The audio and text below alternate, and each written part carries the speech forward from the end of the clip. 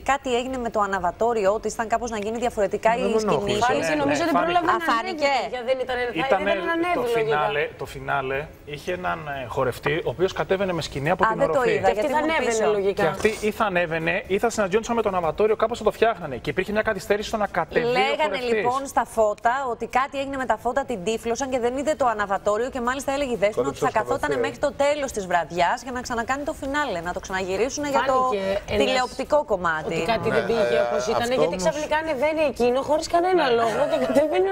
και εκεί που κάθεσαι και βλέπεις μία σκηνή, βλέπεις κάτι να ανεβαίνει, δεν καταλαβαίνεις όμως γιατί ανεβαίνει. Ναι, ναι, ναι. Ναι, ναι, αυτό ναι. που ήταν το Γι' εντυπωσιακό. αυτό εκείνη την ώρα την όμως, βλέπεις είναι και λίγο. για- με τη Δέσποινα είναι ότι